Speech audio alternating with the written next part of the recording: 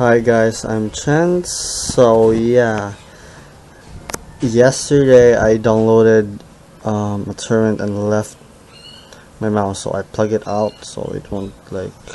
So when I plug it in, this is what happened. So it kept blinking, but if you plug it in, you will hear the um, it will say that it's plugged in, but yeah there. So it's plugged in but you can't move the cursor or anything. It just blinks. It's like that that blink shit. So I'm asking guys if you know I mean anyone knows how to fix this can you PM me? That would be thankful.